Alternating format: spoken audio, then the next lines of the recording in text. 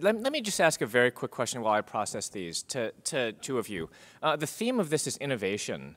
And um, you, you, you know, we all innovate in our um, careers. And uh, you know, Joe, I think that what you do is, um, you know, my sense is that you consent a lot of these patients in research protocols. And um, uh, you know, Sean mentioned earlier, um, you know, that you you um, started doing superior rectus recessions and inferior oblique myectomy, uh, myectomies you know, because you felt like the other thing didn't work. Um, my question is, as we, and, you know, all of us do things differently, um, you know, from how we were trained. Um, my question is, how do you talk to patients when you're doing something for the first time? And you know, because we all encounter this in our practices.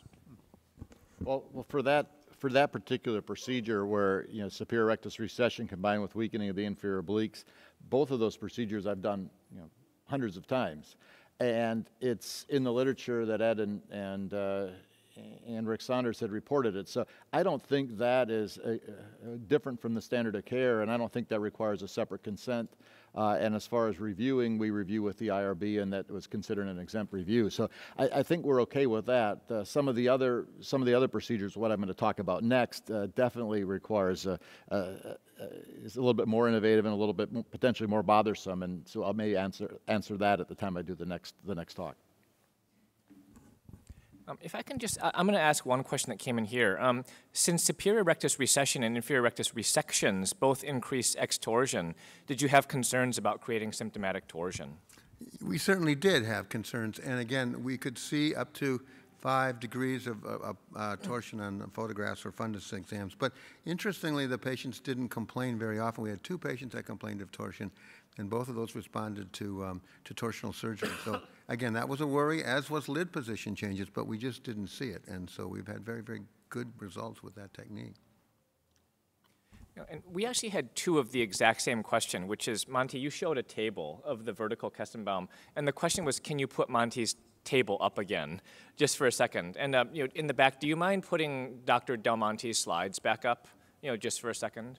And um, one other question in the meantime to both of you. Do you ever see induced vertical strabismus after bilateral vertical RNRs? My, my series didn't have it. Uh, we, we, did have some that, again, they tended to be transient, uh, and they were relatively small amounts. Um, so again, that, that, wasn't a problem.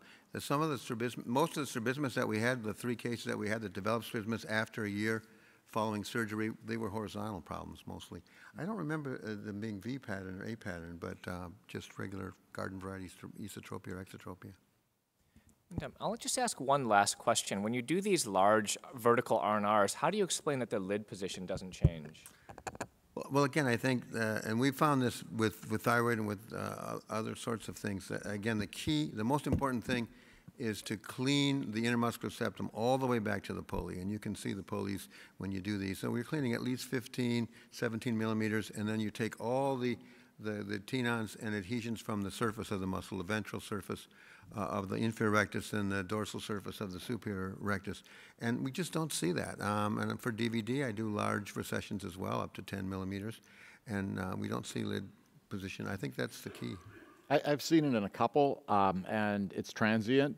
But I always warn the parents, especially if you're doing a large superior recession, because now the chin's in the opposite direction and the lids are up, and they get really bothered by More that unless yeah. you tell them. So I always did, inform yeah. them of that as well. We did see it for up to three uh, three months, and again, we warned the patients to. But it, it may away. take a while to resolve. It goes away.